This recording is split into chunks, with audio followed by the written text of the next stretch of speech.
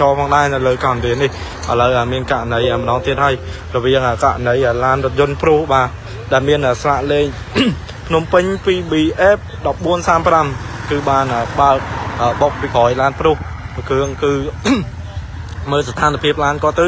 គឺបាយពងប្រិមិត្តបាយពងសុវត្ថិភាពហើយនេះគឺបុកពីក្រោយឡានព្រុសគឺបណ្ដាលឲ្យ stop ទាំងសងខាងហ្នឹងគឺបានបាយហើយក៏ដូចជាកាង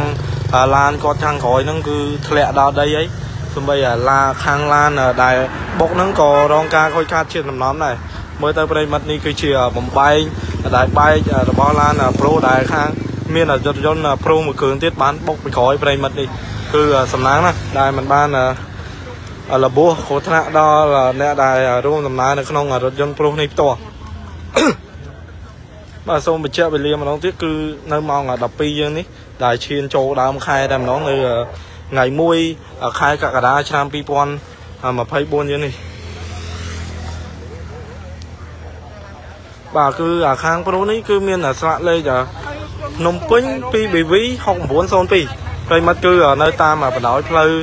កណ្ដារីផ្ទាល់តែម្ដងដែលចុះពីលើស្ពានមកប្រិមិត្ត គឺបើតាមឲ្យដឹងមកគឺឡានប្រូគាត់នេះគឺបើកយឺតយឺតទេ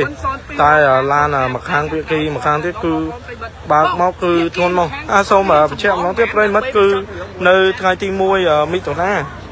សូមទោសសូមអធិស្ឋានអភ័យទោសផងមិនជាថ្ងៃ1ខែកក្កដាទេប្រិមិត្តគឺ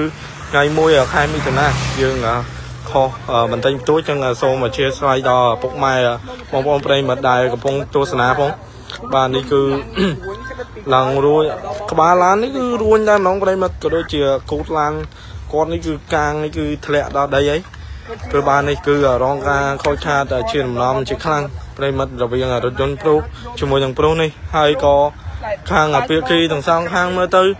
ដូចជាចរចាគ្នាមិនសូវជាត្រូវរើប្រហែលទេប្រិមិត្តហើយក៏ចាំនៅកម្លាំងជំនាញក្រុង ក៏ដូចជាប៉ុស្តិ៍មូលដ្ឋានដើម្បីចុះមកអន្តរាគមហើយនឹងធ្វើការយកឡាន ទៅក្រុងហើយគាត់នឹងធ្វើការដោះស្រាយតាមគាត់បាទសូមបញ្ជាក់ផ្លាកលេខក៏ម្ដងទៀតគឺផ្លាកលេខភ្នំពេញ 2BV 6902ប្រិមត្តឲ្យសូមបញ្ជាក់ទីតាំងគឺនៅលើទឹកដីកណ្ដាលយើងផ្ទាល់គឺនៅតាមបណ្ដោយផ្លូវកណ្ដាលផ្ទាល់តែម្ដងប្រិមត្តមើលស្ថានភាពនៃការបុករបស់គាត់នេះប្រហែលជាឡានចុងក្រោយគឺបើកលឿនមែនតើប្រិមត្ត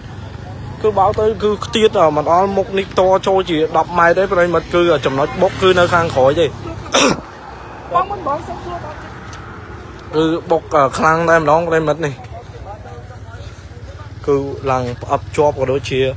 កាងឡានទាំងសងខាងគឺធ្លាក់ត្រេតដល់ដីហើយហើយបែកកញ្ចក់គាត់ខូចខាតជាដំណំបាទខាងឡានបងប្រុសដែលត្រូវគេបុកពីក្រោយហ្នឹង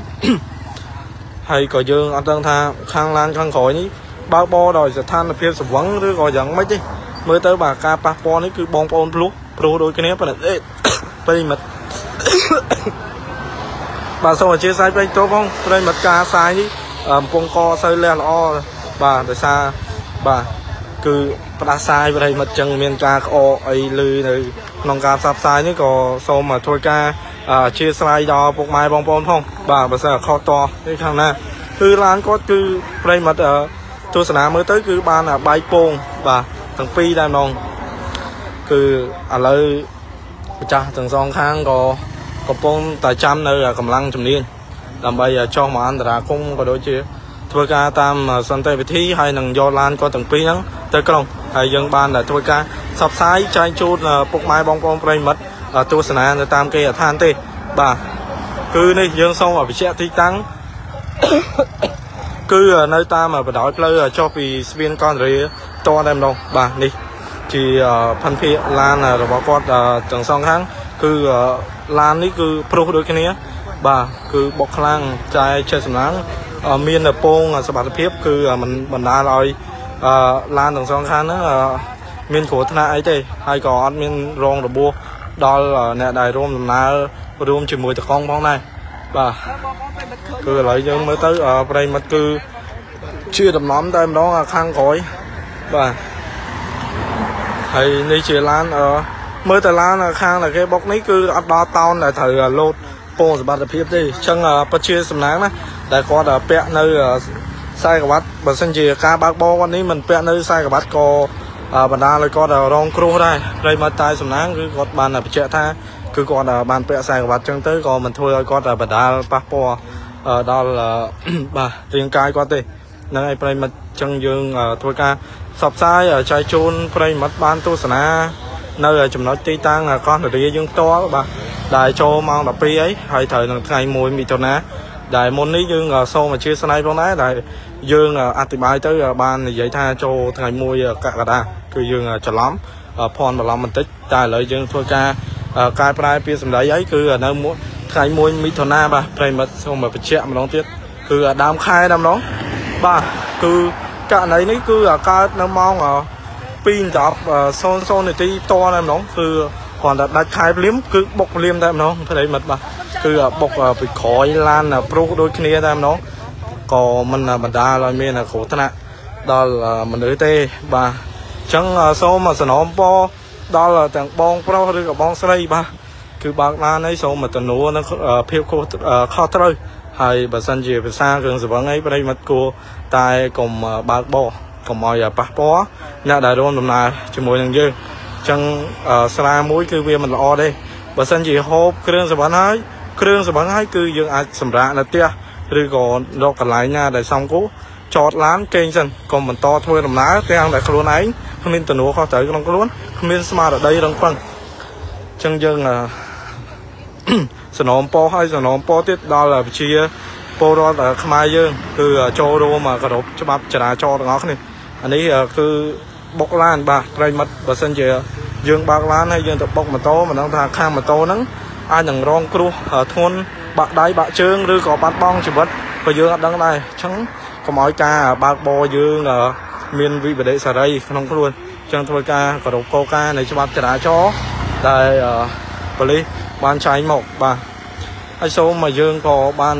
បញ្ជាក់ផ្លាកលេខម្ដងទៀតដែរនៅភាគីឡានទាំងសងខាងគឺស្លាកលេខភ្នំពេញ 2BV 6902បាទប្រិមិត្តនៅតាមបណ្ដោយផ្លូវកោះនារីយើងផ្ទាល់តែម្ដងបាទនេះហើយជាឡានព្រុសដែលបានបុកពីក្រោយ